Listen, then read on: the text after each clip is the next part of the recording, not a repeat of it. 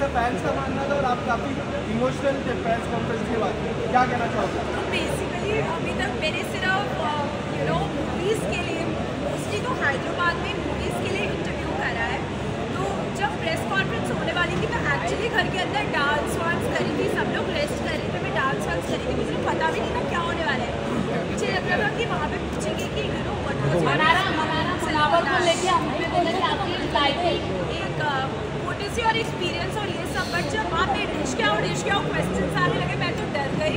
And uh, जो विकी भाई के लिए क्वेश्चन आए मुझे बहुत अजीब सा फील होने लग गया एंड आई थिंक मैं बहुत लो हो गई बिकॉज़ रियली विकी भाई के साथ एक ऐसी बॉन्डिंग थी क्योंकि जब मुनावर वगैरह अपनी लाइफ में मूव ऑन हो गए जब उनके बाद के रिश्ते आए तो विकी भाई ईशा समर्थ वहाँ पे होते थे हम लोग कॉफ़ियाँ पीते थे एंड चाय बनाते थे।